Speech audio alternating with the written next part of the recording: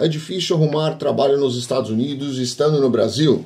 Eduardo, depende. Eu tenho vários casos. Se você for visto, for ver o vídeo que eu fiz com o Eduardo Matos aqui no nosso canal, é, o Edu contou que a empresa foi buscá-lo no Brasil e foi sponsor dele desde o primeiro minuto. Né? Ele não tinha intenção e nem fez força nenhuma para chegar nos Estados Unidos.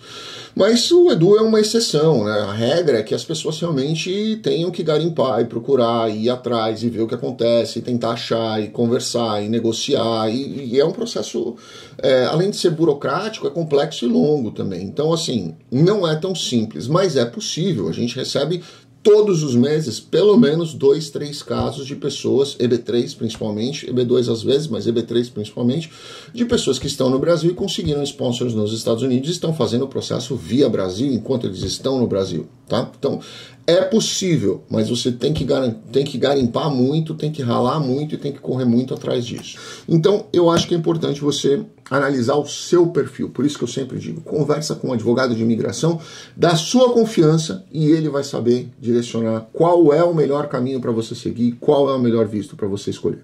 OK? Grande abraço a todos. Fiquem com Deus. Deixa sua pergunta aqui, a gente vai tentando responder uma por uma para vocês. Obrigado.